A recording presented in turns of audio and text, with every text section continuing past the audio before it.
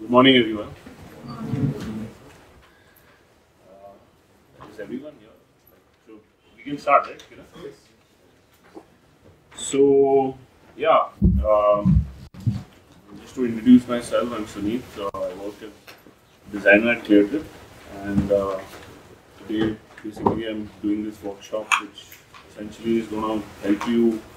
Uh, it, it, the whole idea of the workshop is to kind of walk you through certain exercises and concepts that, like you know, you get familiar with, and then you can kind of actually easily apply them in your projects. Uh, so, uh, just to kind of give you a sense of um, like what we're going to do today, right? So there's basically like uh, we're going to do about three exercises, right? Uh, the first one is basic. I mean, it's pretty fundamental. It's just basically kind of uh, you know will really kind of get you warmed up in terms of how to approach a design problem. Uh, the other exercise is basically which I think a lot of people uh, kind of uh, you know find it hard to kind of uh, balance out is how do you balance basically business with design, right? So the second exercise is really about that. Um, and then basically the other main problem is like if, if you guys get a project uh, and you got to start it from scratch, like what is the design process to follow, right? What is the framework that will kind of help you make decisions as you go along? Uh, and I mean through this, I'm going to like uh, I'm picking like examples from ClearTrip because that's something that you know um, obviously I understand and you know I've worked on personally. So um, I think that will kind of give you a sort of um, perspective and uh, some inspiration to you know start working on the assignments that have been given to you, right? So I think the, the main focus uh, today is, I mean, obviously design is a very vast sort of uh, topic in itself, um, and you can actually go down. You, you could have a workshop at a very very uh, sort of um, you know specialized level, but we are just going to cover three main uh, three main areas. Basically, just I think the the key is really how do you I mean first before you approach a design problem like it's very important to understand the context right? How is basically someone going to use the product? In what context is he going to use it? Is he on the move? Is he you know in his house? Etc etc right? Uh, just understanding the timeline of how the user is actually going to use the product. The other thing the, the other thing is really like once you understand uh, you know the sequence of events that's happening with the user and how he's interacting with the system. Like how is the information structured? And the last is basically the presentational the presentational layer. Uh, you know even though this is like you know i would say cosmetic it kind of uh, you know plays a huge role in the overall experience. So we're going to actually talk about these three things. So um, i mean when you talk about approaching a design problem right um, i think um, uh, I think the main important thing is really to you know ask these questions. Right? Who's who really wants this information? What's most important? And what is the context in some? I mean, what is the context in uh, you know what is the context in which the information is going to get consumed? So just give you an example. Uh, you know, this is what our ticket looked like. I mean, if you look if you look at it, um, you know, it looks pretty clean it kind of follows standards and stuff like that. You can see, uh, you can find information, you know, very clearly. But I mean, if you actually think about how the ticket is going to get consumed, right, you can make a lot of sort of enhancements. So, like, you know, you can break the itinerary so that it's, you know, you can get a sense of the itinerary in a slightly, I mean, at, at one glance. And then you kind of, you know, then talk about the travelers and stuff like that. So, if you see the difference between both of these, like it's just like the, the the information is you know structured in a much sort of cleaner way, right? And it's easier to find out, right? Um, so just some details, right? Uh, so giving you another example, um, anyone uses the passbook? Like I mean, how many uh, iOS users here, right? So I mean, uh, you have. Uh, so we basically designed, you know, when iOS six yeah, iOS 6 basically launched a passbook and you know we, we wanted to kind of like you know have our sort of tickets delivered on the passbook. This is what it looked like, right? I mean, uh, passbooks obviously have um, you know it, the scope of design is very limited. Like most of the uh, iOS takes care of most of sort of the layout and stuff like that. It's just basically you figure out what data points you want to show, and there's a ready template to be used, right? So if you look at it, I mean, in its own self, it kind of works. But uh, you know, if there's a uh, if you have a traveler who's you know uh, booking lots of tickets with us, this is what it looks like, right? So in the passbook application, when you have like multiple tickets, this is what it was looking like, right? Um, so we, I mean, you really can't see, you know, which pass is for what. It's just basically got, uh, it's just got basically the dates and stuff like that, right? So we kind of redesigned it. We said, okay, like you know, right on top. Uh, we obviously did kind of, uh, we were never expecting this situation where people will have like 20 passes in their passbook, but that happened, right? Uh, in fact, that that that image was tweeted by one of our customers, and he wasn't even complaining. But like we picked it up and we basically redesigned this, uh, and this is what it looks like right now, right? So like when it's in your passbook, so if you see compared to others, like you actually know the context of the pass itself, right? So I mean, these are I mean you can actually make a difference through uh, design at a very very minute level, right? Uh, I mean, and just to kind of, I mean, this was really to kind of give you, like, uh, before we start on on your design exercise, right? I just wanted to highlight these things because the design exercise you're going to work on is kind of very similar. Um, so, I'm just going to pass on some sheets, right? It's essentially, it's got, um,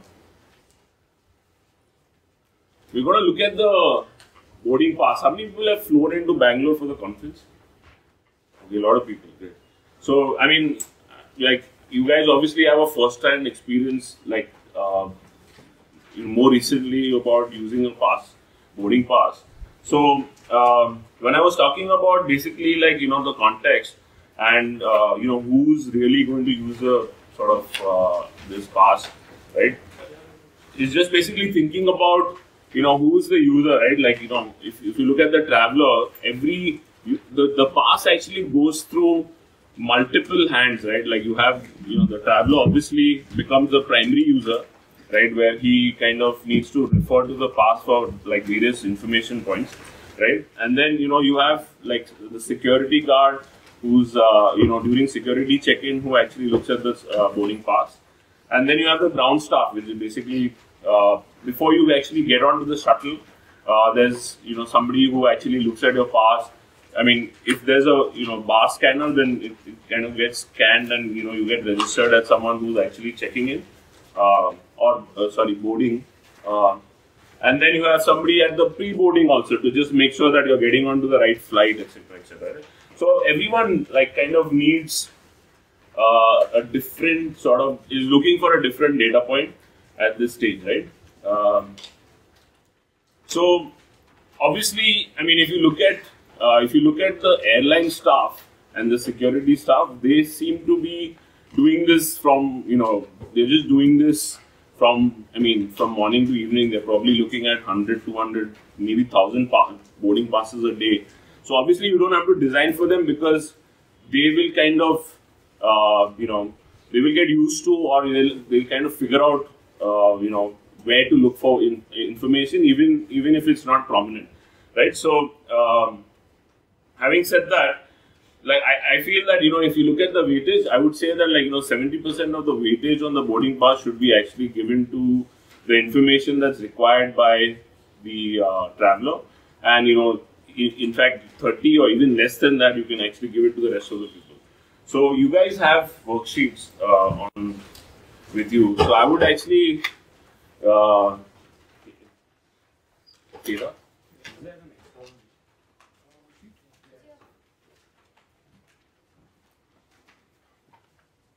So I've actually just.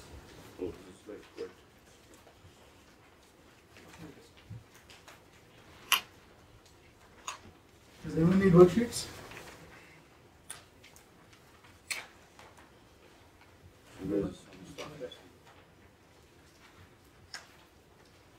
So some part of it has got washed out.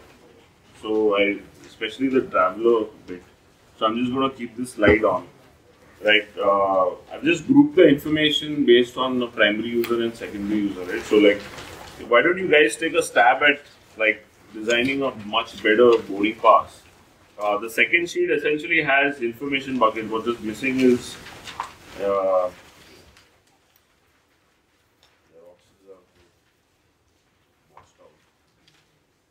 so I basically I created three buckets. There was basically the important stuff, not so important stuff, and the least important. I mean, when I talk about least important, you could basically chuck, uh, you know, those. If you feel that there is something on the boarding pass that's not required at all, you can just basically remove it. Anyone has any questions?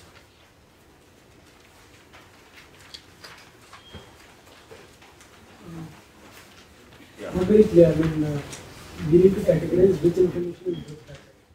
Yeah, exactly. So basically, I've you know I've noted down uh, you know what the primary user needs, right? And you, if you see the block here, essentially is where you need to actually do the new uh, boarding pass. Just try and uh, pull out the original thing here.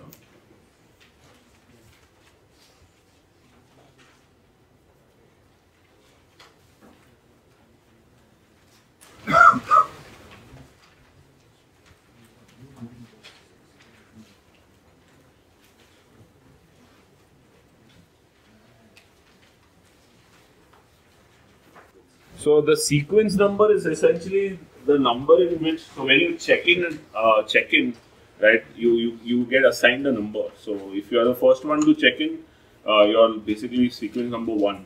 Uh, so if you notice, like when you're actually boarding the flight, just I mean before you get into the shuttle, uh, you have you know the the uh, airline staff will actually if there's no barcode scanner, they would actually check off uh, 116. So they would have like a map, and they'll just check off that that this this person who checked in is actually is going to board, right? Just to keep track of who's not uh, checking, who's not checked in, or who's not boarded as yet, who's not boarded as yet. So yeah, I mean, if you think about it, it's like it's it's a it's a uh, information that the traveler doesn't care about.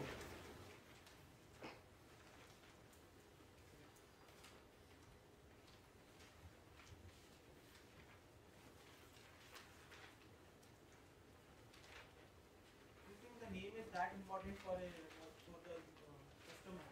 Because Uh, the customer already knows his name. Yeah, exactly. So it is it is less important, but like I told you, there is a use case where you know there are multiple travelers and you need to you you need to kind of distribute the passes. At that point, it, it's relevant, but yeah, I mean it's not the most important thing. On and the, the gender can safely be taken away. yeah. What about the from? Because usually you're boarding a particular airport and you get the pa- uh, pass there and there, right? You can have multiple like But yeah, you you also get sometimes multiple boarding passes at the same time when you are hopping flights. So maybe in that case, that's Yeah. also a good idea. In an international case, yeah, Well, You- is you- from really that important? The destination is right. Even if you have multiple boarding passes, it's not like if you have Bangalore to say Dubai and Dubai to New York. yeah. It's not like you're gonna have a flight to board in Bangalore to New York directly, right? No, no, but yeah, you, I mean, I guess like when you have two boarding passes, you know that okay, I don't need this boarding pass right now, right? It's something that will I'll need later on. So yeah, I mean, it's a valid point, but again, like you know, you gotta you have to consider these cases as well. Yeah. I think the class also, I think you need for LD if I'm not mistaken. Uh, or something, you need it for something. I remember I had to like uh, somehow produce the class number. I, I, know, I know what you need it for. You need it for like, uh, uh, so for example, if you, um, you know, uh, if you book with ClearTrip and you know you want to basically redeem miles. I mean, today we don't basically. I mean, today we, we started doing that, right? We send your fre- uh, frequent flyer number, but earlier when we did, we were not able to send the frequent flyer number to the airline. You had to go to the airline website and actually kind of clock those miles in, and they they required the class at that point. So I don't know if it's relevant anymore, but yeah, that's one of one case that I remember that I needed the so we The class. we should also think about utilizing the space. Like you know when, you, when there is a class, right? We can use the right side of this logo. and we can differentiate by using colors. yeah. And say But I, I think, see, the class, uh, the, the seat class is of you know slightly technical and it's kind of for the airline. I was just explaining that basically like the the I mean every class has a fare attached to it uh, as I understand it. Uh, so like basically when you actually you know when you're booking in advance, essentially you're booking tickets in the cheaper class, right? Uh, and then that class gets sold out, and then you know the second class gets opened up, and that's how the prices increase. So every class has a thing, and uh, in a full service carrier like a Jet Airways, this probably doesn't apply to Indigo and the low cost carriers, but basically the the uh, the full service carriers you, you you can be upgraded to first class or business class only if you're in a higher class, as in you know what I mean, like you only, even if you're in economy, but like if you're in K, you'll never get upgraded. So uh, I mean that's probably the only understanding I have of the class. So I think, I mean, irrespective, I, I don't think it's kind of important for the user that much. Okay, so I think we are we are run out of time. Um, I you know I guess you know we've kind of obviously uh, discussed a lot of ideas, and I'm sure that um, you know you guys have come up with good solutions. So basically, I mean, just to I something that I didn't get a chance to kind of uh, mention earlier. Um, I think through the workshop, you know, I, even though like I believe that you know uh, the final result counts, right? Through the workshop, the idea is not that you kind of get the best solution out there. It's just to kind of go through the process. And uh, you know, if if you guys are enthusiastic about like taking this to finish line, uh, you know, you, you have that opportunity. You can always go back you know, like kind of refine this design and like, you know, I'll be around through the conference. So if you have any ideas or you need feedback, we can kind of work together to refine it. And, you know, maybe we're, we are figuring out a way if we can actually showcase whatever you guys have done through the conference. So, yeah, I mean, like, you know, the, the these exercises don't end here. Like, you can go back and refine it. Uh, but like, we'll kind of keep moving in because I want to cover a lot of ground here. Yeah. So, moving on. Uh, let's go back to the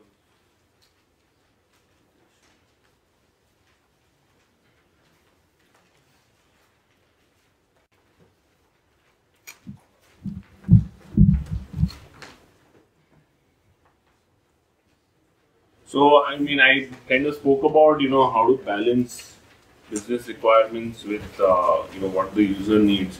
I think over and above what we did in the previous assignment, I think there's one layer of, uh, here basically you were just addressing what the user needs.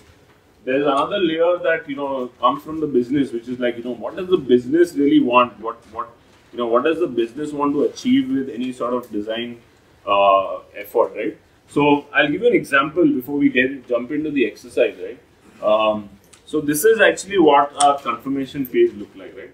Uh, what I mean, basically, you know, as soon as uh, somebody booked a ticket on ClearTrip, you know, we just kind of jumped on the user saying, hey, you know what, book a cab, do this, do that, uh, and if you notice, um, you know, the what the the user actually booked what he was charged was kind of like you know somewhere in the corner.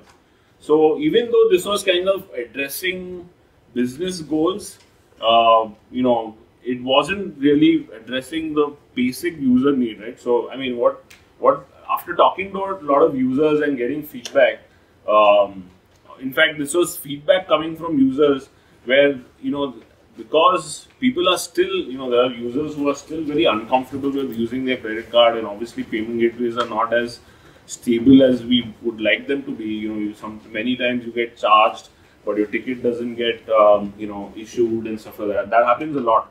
So, you know, um, there, there was a certain sort of comfort level that the user wanted first, right? As soon as he booked the ticket, he wanted to kind of feel that, you know, um, you know, I booked. I mean, this is what this is what I paid for, and this is what I got in return, right?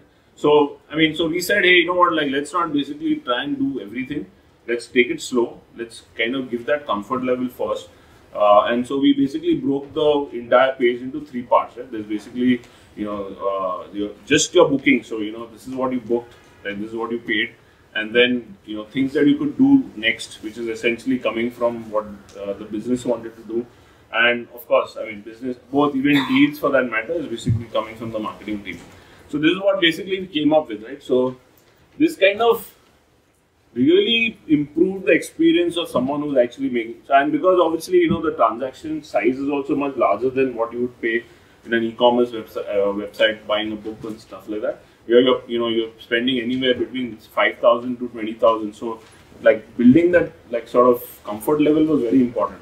So yeah, this is what I was saying. Like you know, like even though you know you'll have a lot of pressure to actually address business requirements, you need to understand that the, the user comes first, and there's there's obviously ways to actually sort of balance it out, right? So I mean that kind of brings us to the second exercise. Um, how many of you actually? I'm, I'm sure most of you use credit cards. So uh, like, does everyone have a credit card uh, in the house? So. Uh, what do you think about the credit card statements you get? Like, is it? Okay, so we're basically going to kind of, you know, look at the credit card statement. And here we kind of, you know, go, I mean, we go in a little deep, um, in, I mean, deeper in terms of what the user wants. So I imagine that basically, you know, uh, these, this is what a user wants from a credit card company, right? Uh, it's kind of, it's a pool that you can actually uh, sort of you know, uh, access in case of an emergency. Ah, this is a group exercise. Sorry, I just forgot to mention. So um, you just kind of make groups of five people in, in your location only. Like uh, just you know, five people together can just sort of uh, sit together and brainstorm. Uh, so I was talking about um, the user, right? Uh, what the credit card really does is kind of gives you an additional pool uh, of financial resources in case of emergency or whatever you want to, you know, get a lavish or whatever, right? Uh, also, you know, how do I mean, how do I maximize my credit limit? If these are things that user wants, right? And also, you know, credit card companies come with their own sort of benefits, like you know, you can actually make, like instead of spending money in cash, you can actually, for example, you're paying bills right? You can continue paying bills which you normally do with cash, but if you use a credit card, you can actually redeem miles and stuff like that, or reward points or whatever. You can get free tickets and stuff like that. And then obviously there are a lot of deals that come. So these are all the things that the user expects from a credit card company. Uh, and of course, I mean, like you know, as far as possible, you know, even though it happens uh, that you land up, you know, paying uh, excess amount of interest, you want to avoid that obviously. So this is again something that the user wants. Uh, and what does a what does a bank want? The bank just wants you to spend more so that they can. I mean, that's the end goal, right? They obviously, you know, uh, they give you a big service, but like the way they make money is actually by you spending more and kind of uh, they earning interest from you, right? Sorry. Yeah, exactly. So I mean, these, I mean now imagine that like you know this is what the user needs, um, and you know, this is what the bank wants, right, out of the whole process. Um, can we, like, so you guys have the, the, what do you call it? Everyone's got, I mean, all the groups have uh, one sheet. So we'll actually do this in a group exercise. I think to start off with, I want you to actually, you know, uh, really think about what what do you want to achieve with this redesign, right? What is that problem that you want to solve? And I mean, to start off with, it's important to actually set some goals, uh, you know, before you actually get on to sketching and doing anything, right? So, like, uh, you know, you, you have the business objective, you have uh, what the user needs, and you have basically the, the existing credit card statement, right? So, what is the problem that you want to solve is very important. So, like, I'll give you some examples, right? So, like, uh, assuming that you know you want more you want user you want to motivate users to actually spend more. So obviously you know reward points will become like a very large portion of your credit card statement. So you get a sense. The you know there are other um, the, the there are other things which actually there are other smaller problems that you can solve right? So today what does the, what does reward points really mean right? Like what is the value? Like it's very difficult to kind of gauge the value. You got to go to some website and like you know put something and so like does is there a way to actually communicate that easily that you know 5000 is you know uh, is worth X, right, in rupees or even if it's indicative, at least the user knows. So I'm saying that you know they, these are sort of opportunities that you can look at, right? Um, yeah, but before you do that, I mean, it's important for you to kind of think about what you want to solve. And I guess everyone, the fact that everyone on, you know, everyone in the house actually uses the credit, you guys understand what the pain points are. So take one pain point or multiple pain points and like see if there's a better way to present the credit card statement. So yeah, I'm, I'm putting this on, and you guys have the. I think the prints for this version is much better. So, so I think um, just to set the context of the next part of uh, the workshop, um, you know, like we, we spoke about, like you know, we started off with you know how do we approach a design problem, how do we think about you know what the user needs, what kind of information, what's important, and stuff like that. Um, and then we basically kind of looked at how do we balance what the business wants. Uh, I think one of the major challenge uh, is that what if you know you you you got to basically build something from scratch. You know you don't really have any reference point. Uh, like you know redesigning, it's easy to basically look at an existing product. You know find out what issues there are. But what if like you know it's a completely new thing, right?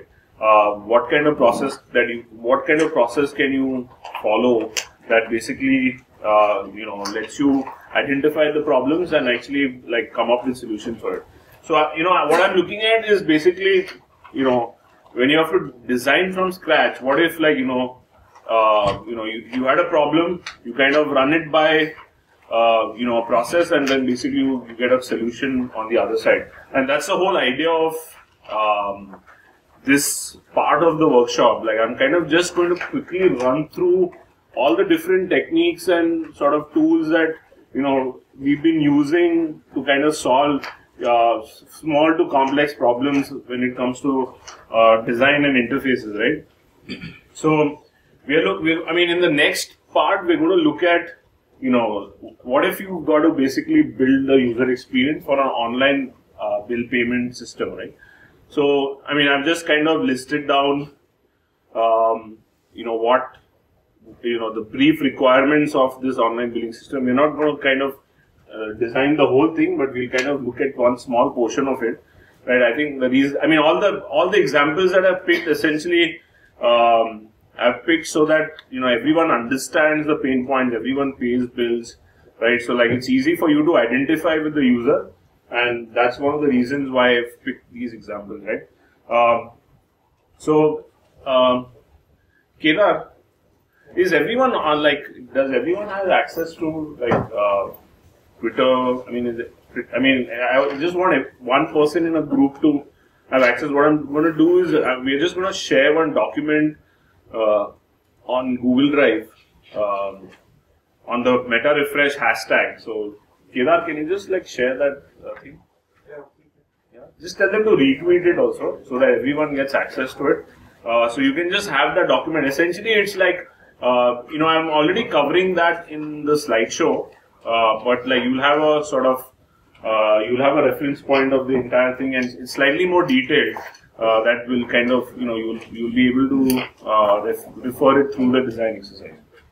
So it's pretty much the same thing uh, but slightly more detailed. So yeah, I mean talking about process, right? Uh, you know, there's basically, you know, what is what is the product supposed to do? You know, what does the customer need? Uh, again, what what is the context? How people are going to use it? What are the flows?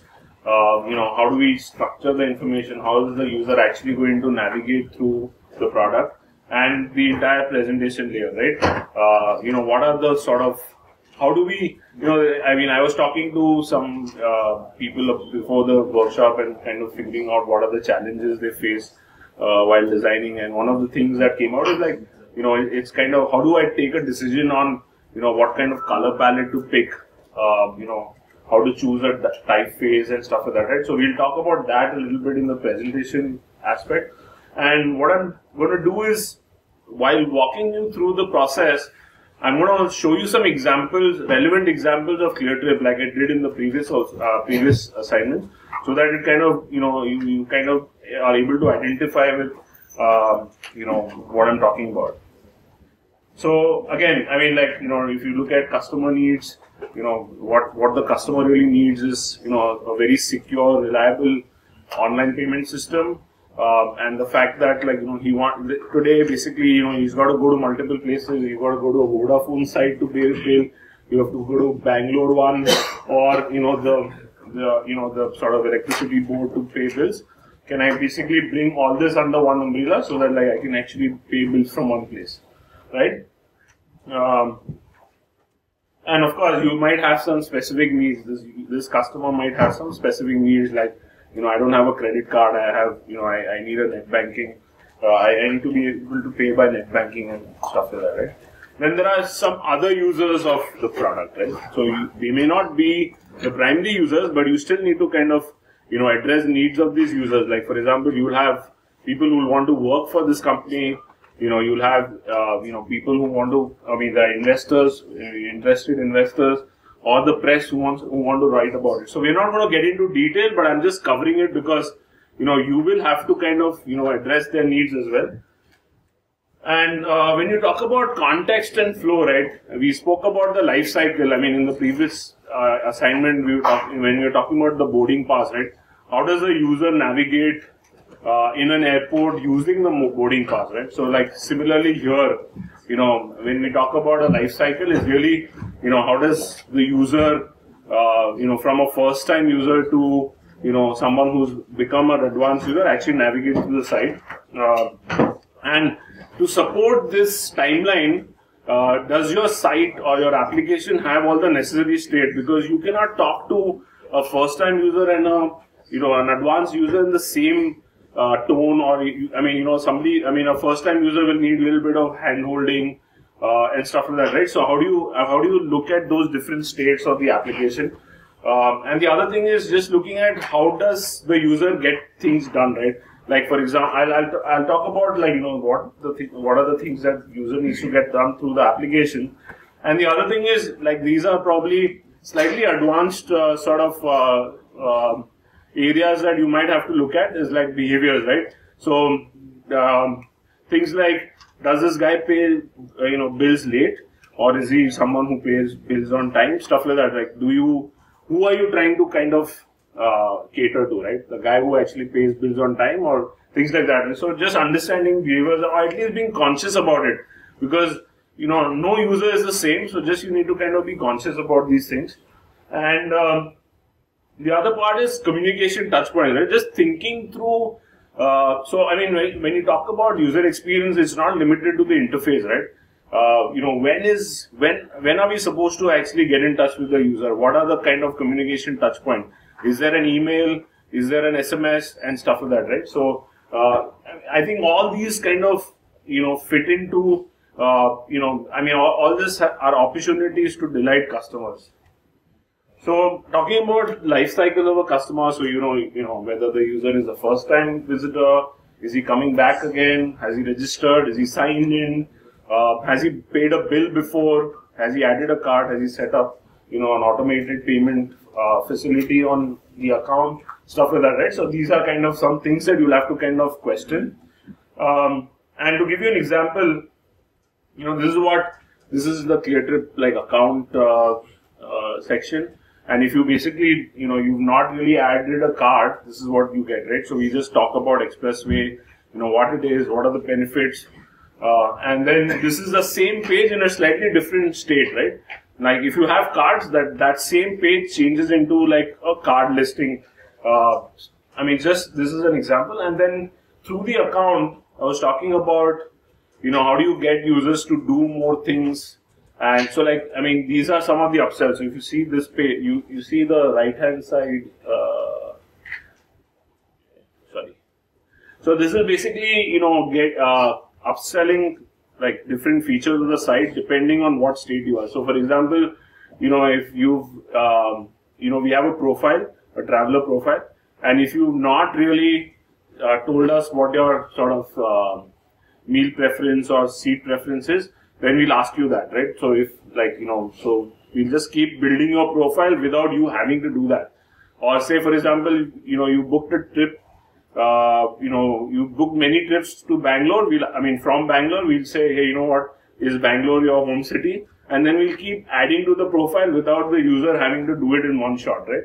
So, I mean, this is really kind of those elements that you need to think about while building this. What is the state of the user, right? Uh, what is what do you want from the user, right? Like for example, in terms of uh, so, I'll give an example in the context of a bill, right? Uh, assuming that you know he's been paying a bill with a particular credit card and he's not stored that credit card, there's there's a possibility to kind of ask him to store that credit card or whatever. I mean, this is just an example, but yeah, you need to think about those things as well. Uh, so as, as far as like you know all the tasks that are involved for a user, you know, it's just thinking through you know, how does the user sign up? You know, how does he add a bill? How does he pay a bill? Uh, you know, how does he save a card and stuff like that? And, you know, looking at this in, like, in, in sort of, like, looking at this holistically, right? Um, again, what are the touch points across the board? Uh, like, for example, if someone has to store a card, uh, where are the opportunities for you to actually get him to store a card without him doing that explicitly? So give you an, giving you an example, right? Uh, expressway. I mean, um, this is you know where like you know we, we, we, this was an ad that we ran. So you know uh, just talking about or drawing attention to the consistency in the communication, right? So basically, this is what the ad looked like, and uh, you know we actually uh, what do you call it? We advertised the URL which was cleartrip.com slash expressway and then when users actually land up on the expressway, there's like that consistency, right? Like it's, you can immediately identify and kind of, you know, it's kind of adds that like, uh, extra, like sort of, because expressway is all about storing a card and stuff like that, you need to build, build in that trust, right? So if you kind of have an ad that, you know, has a particular visual and then that cut doesn't translate into your online presence, there's sort of like doubts that come into users minds, right? So right from uh, you know how it's delivered on the desktop to the mobile, and then while creating an account or sort of in the account section, so that this is like more like public facing. But when you're kind of inside the account, again, there's like that consistency in branding and communication across the board, right? On the mobile apps uh, across the board. Even like during, I mean, if users don't users haven't actually bothered to do it through the accounts. Like there is that again, um, we actually are kind of, you know, using the brand to kind of have that connect, uh, you know, during the book flow, right? Uh, and so basically right from, you know, getting people to store the card to actually, you know, transacting with Expressway enabled, right? So there's kind of, yeah, I mean, I just wanted to share this example because I feel that the successful ex- expressway lies in kind of building the trust through consistency across the board, building that brand, pushing it through the uh, uh, pushing it through the product. Right? It's not really. It's it's like marketing and product working together to actually sort of uh, building a brand which is kind of very very sort of strong. Anyways, uh, so I mean talking about communication touch points, right? I was I was saying you know what are the communication touch points? Email, SMS, uh, you know, things like, you know, how do you kind of talk about the benefits of this feature or service? Uh, what kind of reminders or notifications do we, we need to put into the, uh, because I mean, this, this product essentially uh, calls for notifications, right? Because, you know, you need to remind users that, you know, there's a bill coming up. So just that experience, right? When does it happen? how often does it happen, and stuff like that, right? Um, and of course, pro- contextual product upsells, right? Is there, uh, like I was talking about, while making a payment, can you actually get him to store a card? Now, storage of card is actually a separate feature, but you kind of do it through, uh, you know, a slightly different task. Okay. So again, giving you some examples from ClearTrip about this. So whether it's about, you know, delivering a ticket uh, to you know like canceling a like canceling a ticket, right? Like so here basically you know cancellation is a big problem. Refunds is a big problem. Uh, you know we have to actually um, we have three parties involved. You have the airline, I mean, it's ClearTrip, there's the airline, there's a bank, right? So um, there are kind of, uh, you know, in, in many cases, uh, because a lot of the process is manual, things, you know, users get, I mean, it, it, it is a longish process, like getting a refund is a longish process. So how do you make users actually comfortable about it, right? So we actually, we, we you know, we kind of like this, this communication builds that trust that, hey, you know what, we've, this is the status of your cancellation, the refund is getting processed and we go out of the way to even ask whether like the refund got processed, even though that's out of our control we could actually push it. So the last email is just kind of, you know, sending out saying that, hey, did you get your, did the money actually get credited to your bank and stuff like that? So yeah, I mean, I think you know, you got to look at all this holistically. It's not the interface, user experience is like way beyond uh, just the interface, right? Um, moving on, um, talking about contextual upsells, like so, this is actually so. You, I don't know if you guys know, we actually you know, launched this product called Collection, which is essentially travel inspiration. We tied up with Condé Nast Travel and kind of launched this collection. Now, we had a boring, you don't have any trips kind of a message uh, in your dashboard earlier on. Uh, so, hey, you don't have any trips, why don't you go somewhere? You used to go to the, like the desktop. Now, this is a great opportunity to actually inspire people. You don't have trips, hey, go get inspired. You know, so just I just wanted to highlight this example because it kind of fits in really well uh, in this context. Okay, so from I mean, moving from you know the the context, communication, touch points, uh, just get into slide. I mean, I mean the site structure itself. I mean, you know. Um, so when, when you're thinking about the flow, right, you, you essentially have to think about the flow before you decide you know, what are the screens that are going to come in? Because you don't do it the other way around. You kind of understand the flow of the user and then figure out now, if this is the flow, what are the screens that I, I need to build to support this flow, right? Um, and how are people actually going to navigate through those flows? Uh, and does your, does, does the, so, I mean, you know, actually what's interesting is the navigation can like be a great way to communicate uh, what the site is all about. I think people underestimate what a navigation can do. Uh, I actually come, I mean, I mean, I was not able uh, to actually get a good example, but many times you land up on a site and you don't realize what this site actually does. I mean, I'm sure a lot of you people have actually experienced that, especially when the service is new. And I guess all of you probably are building products where they are unique and they don't exist. Uh, there's no reference point for users. So they don't have any, there's nothing familiar, users are not familiar with that concept at all. So, I mean, think about how you structure your navigation because that can actually be a design. It can actually communicate a lot about what your product does. I mean, I'll, I'll just give you an example. Um, I mean, you know, when you come at ClearTrip, you know, okay, it's a travel site, you have this bunch of things. And then, you know, there's some, you know, there's some, some level of grouping also. There's basically, if you notice, there's like, you know, you you have the search projects pro- products and they have an arrow because like that's just to indicate that like if you click on those the con the context will be maintained. You will kind of be in that same sort of that same interface uh, versus if you go below you would actually land up. So like if you see collection and Way2Go and Smallworld that the context completely changes. You don't have you don't no longer have the left navigation. So yeah i mean like you know you uh, if i put the arrow user would actually expect like the site to open up right there. So things like that, there are you know small set of cues that you can give users to kind of explain what the product or what what, what they should expect. Uh, so from site structure, moving on to at, at a very screen level, right? Um, if I mean you guys did boarding pass and you did the credit card, I guess you guys really thought about how can I actually present this same information in a way that's it, can be consumed really easily and it kind of you can get all the key information uh, points in like at, at a glance right?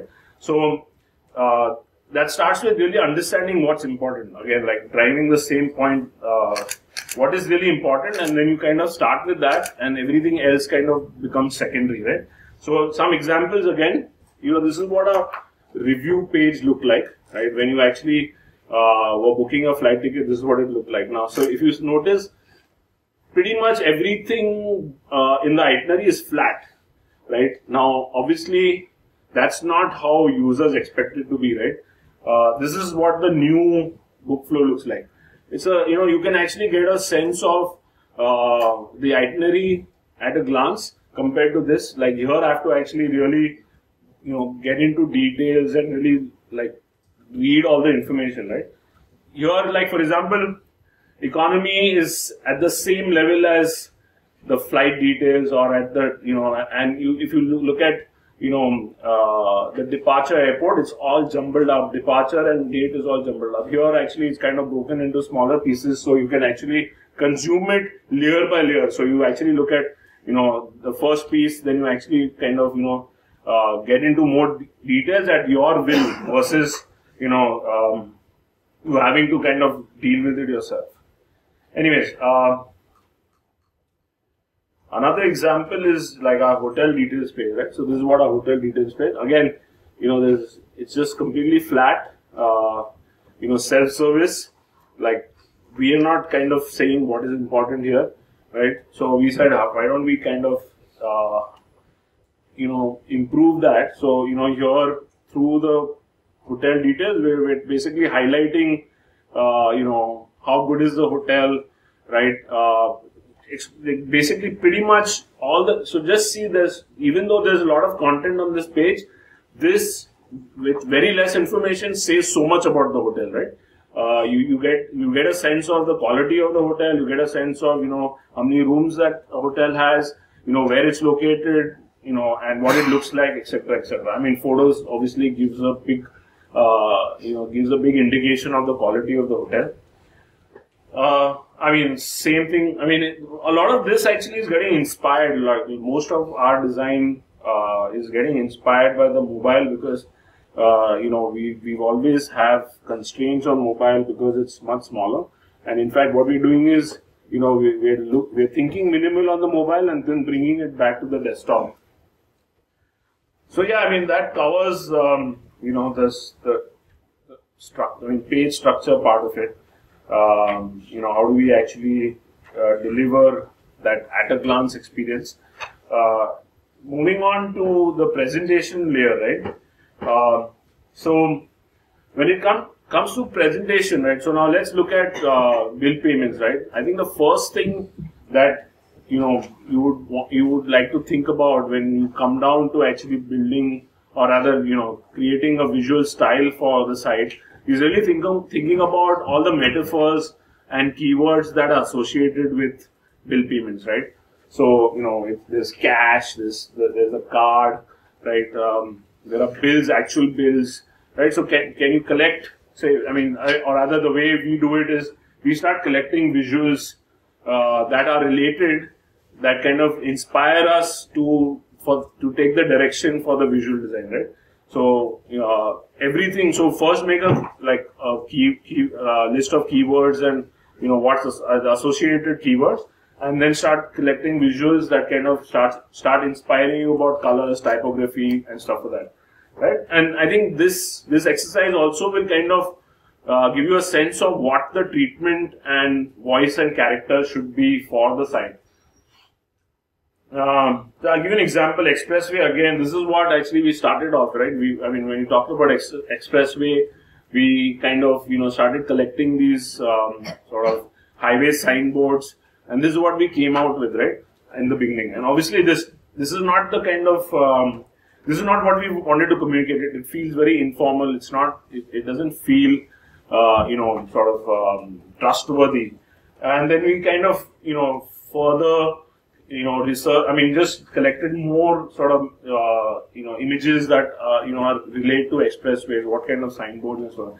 And this is what we finally came out right. So I think like it's it's. I mean, it, this is also a very iterative process.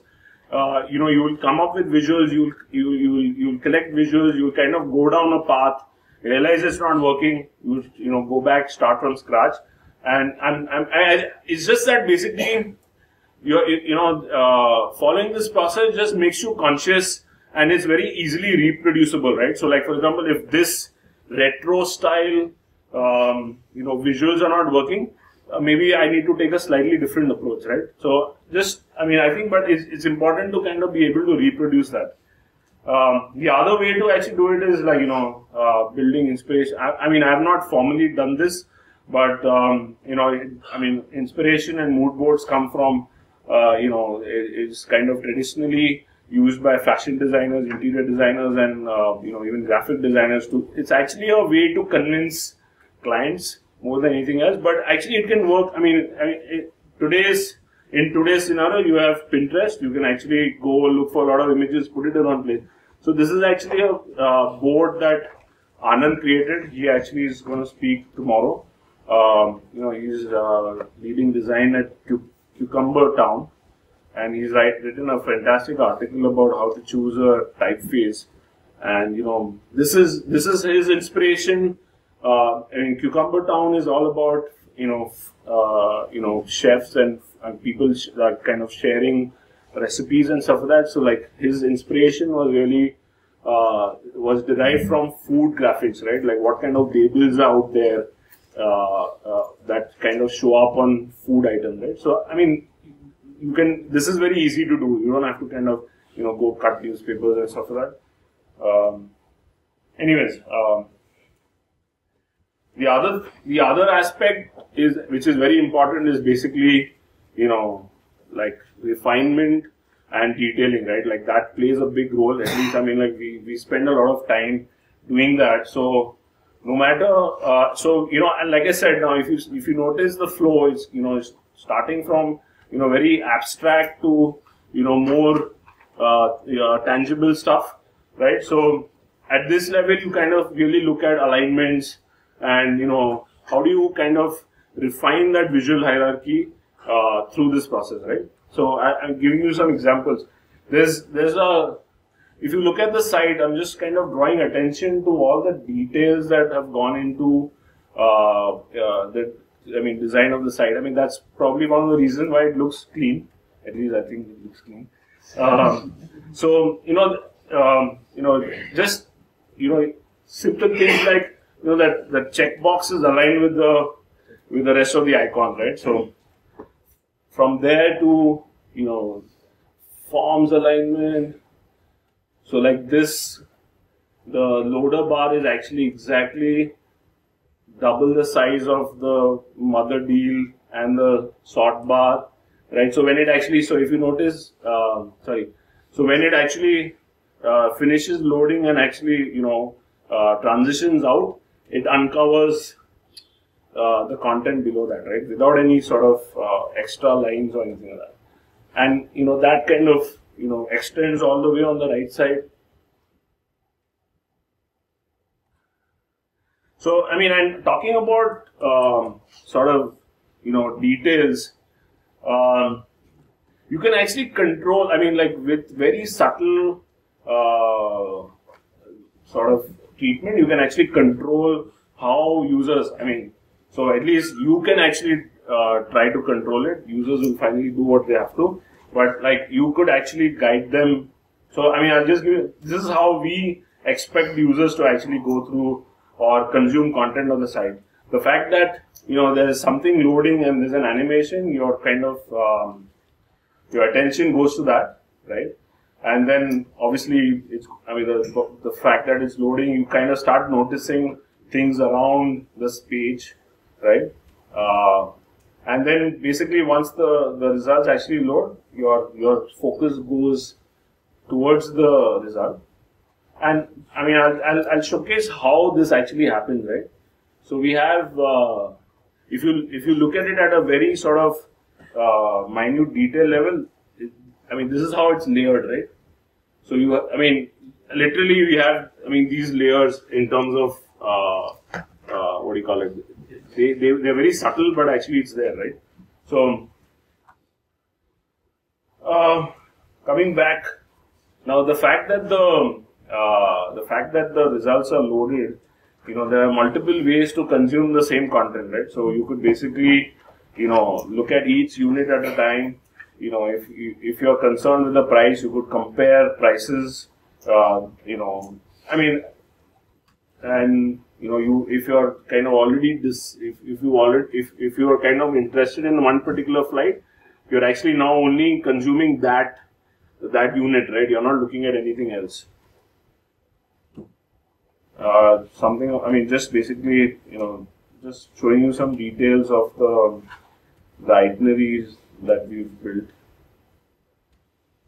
Any, mo- I mean, so moving on, I mean, moving on to uh, the transitions, right?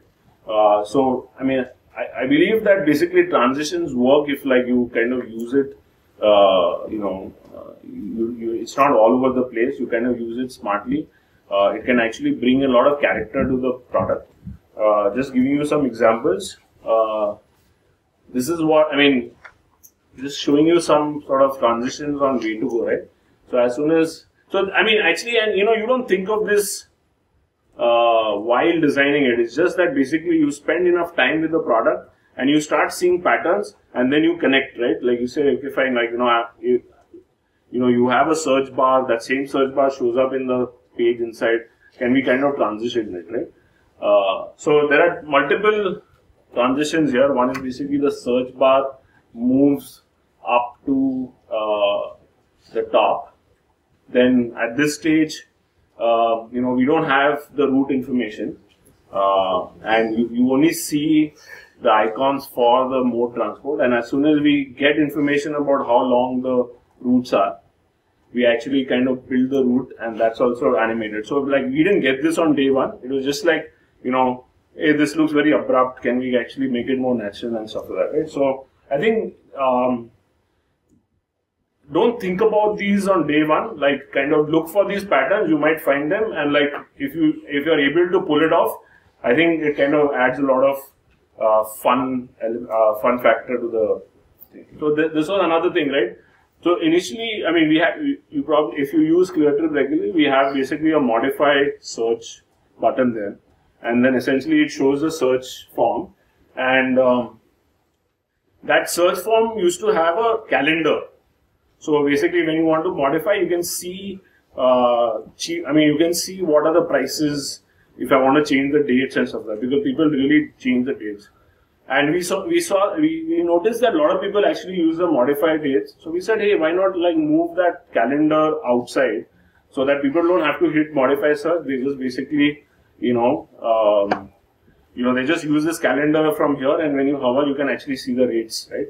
So, but people were so used to using modifier search, like this got completely missed, right, in the beginning. So we, a lot of people started like complaining, hey, where is the calendar in the modifier search, right? So, great opportunity to actually do two things. One is, you know, retain the calendar inside and then also draw uh, attention to this calendar. So basically now what we've done is this came later on, right? So it, that cal- the same calendar actually transitions in place, right? Uh, it kind of does two things. One is obviously it, it, it's available outside, but also kind of reminds user that this is available outside, right? So again, you know, something that we are not thought, but it just kind of, you know, we saw that pattern, we, we got it working. Uh, another uh, transition wanted to showcase. Right, so, like this is, we wanted to bring in that sort of you know, delight factor every time somebody finished a step. So yeah, this was a small subtle thing. Uh, so yeah, I mean, like I'm kind of covered with, uh, you know, the examples. The, the whole idea, you know, to show you that it was, was to kind of uh, get you thinking while you actually work on this assignment. Is that you you, you could actually look at all these things um, while building it. Uh, and so, moving to the design exercise, you guys uh, have you shared the link? Yeah. Has anyone been able to access that page? Hashtag was better. Yeah. So that I mean, um, just to give, yeah, it's a group exercise. Just to give you, uh, so you know, obviously we, we were talking about the bill payment application, but we're not basically looking at the entire application because I mean, obviously we don't have too much time. In fact, I mean, just now we have just 45 minutes, so we've got to kind of sprint into this. Um, so the scope is essentially looking at just the dashboard of this product, right? So like if, if you are a user, if you you are someone who make like pays bills online, right? Uh, what is your expectation of uh, you know like a home screen, right? Like uh, what kind of uh, you know uh, one is obviously what are the states and scenarios I spoke about you know users being first time or repeat users and stuff like that. Um, and you know what? How do you what? How do you give this user a summarized view of his account, right? Like uh, you know the bills that he's paid, you know bills that are pending, or you know upcoming bills or whatever, right? Um, uh, yeah, I mean basically we we're just going to kind of focus on this aspect. We're not going to look at the entire. Uh, we're not going to look at the entire application, but just think about what the navigation should be and what the dashboard should be. And I think the the only difference between the previous one and this is that uh, the credit card statement was. I mean, we started off with like a boarding pass, which was very small, a very small problem to solve. To credit card, which is static. This becomes a little dynamic. There's a little bit of there's a timeline involved. So yeah, I mean, how does how do you how does the product respond to uh, different states of the user, right? Uh, if he's like, I, have already kind of drawn attention to the fact that does the product talk to a guy who's coming for the first time differently versus a guy who's, you know, added a bill versus a guy who's slightly advanced and has multiple bills and stuff like that, right? So yeah, I think that's uh, the scope. Uh, we have 45 minutes. I mean, obviously, there's lunch after this. So, I mean, yeah, you guys want to, like, you, you can continue working on this. Even, uh, uh, you know, we can extend it a little bit. Uh, if you guys expect to buy frames out of this or just ideas? uh, wireframes, yeah. And like I said, we don't we don't end at that. Like I mean, one o'clock is not where this this assignment ends. You can feel free to kind of you know go back, refine it, and we'll kind of uh, we're we're trying to figure out how to showcase your work during the conference if you're going to be attending the conference later on. Because I think it's it's it's good to kind of take this to finish line because you know all the stuff that I spoke about, if you're able to at least you know cover uh, it, you know everything till the presentation later, it'll be great. But uh, yeah, I mean depends on you know how much time you guys also have outside of uh, today and tomorrow. If some things could be done as a offline meal or some group. right? And Yeah, sure. Some Uh, yeah. presentation to be shared. Yeah, it's it's on the Meta Refresh uh, hashtag on Twitter. Sorry. I have it open, but I can't find it. Yeah, is it? Yeah. Huh?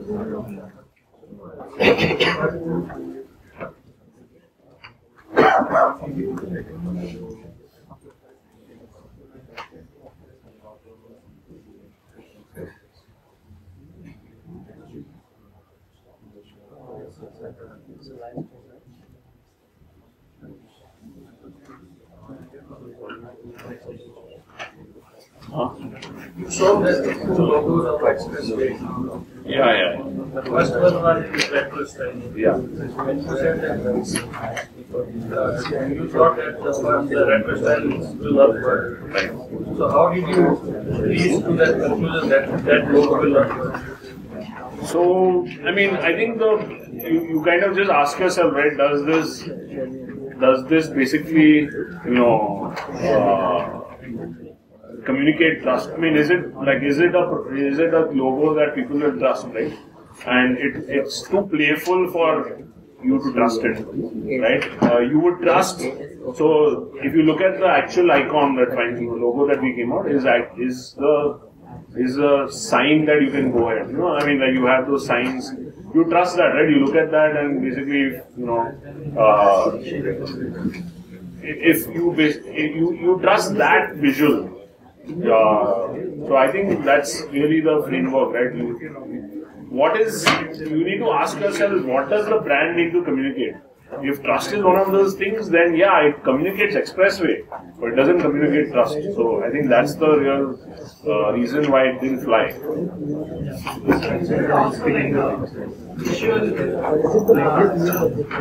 when you go to uh, airport or I think it's dotted Yeah? Yeah, yeah, current. Yeah, exactly, yeah. Yeah, exactly, exactly. So it's got, I mean, it's got all the elements. Uh, you know, it's in fact, if you see the visual, if you see the bra- the the campaign and all that, it's even though the name is run is expressway, the image is of a runway, right? So I mean, so you have flexibility. I mean, like you know, you have flexibility to play around a little bit. Uh, so it communicates. Yeah, I mean, you're absolutely right. I mean, it does have the elements of an airport. And I was talking about you trust that, right? Like if it says you know, this is the direction you need to go, you trust that. So I think it has that sort of element to it also.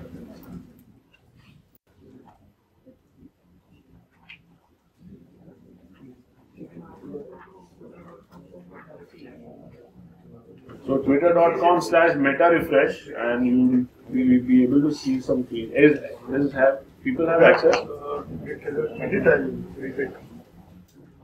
You've put a hashtag. Put a hashtag. Who's not been able to access that thing? Put a hashtag, put a hashtag. It's not there. It's not a hashtag, it's actual okay, so it's available, but right? Yeah. So everyone's got the document. So it's basically, I mean, it's the same. Uh, it's whatever I've covered in the last part. Uh, slightly more verbose, uh, and I think like the idea there is that we don't have to. So we like for the purpose of the exercise, we don't have to actually cover everything in that. It's just like you can use this for future reference uh, while working on a product, but like it covers like the scenarios aspect, so you can you, feel free to kind of refer it, but I mean, we don't have to cover all the points there.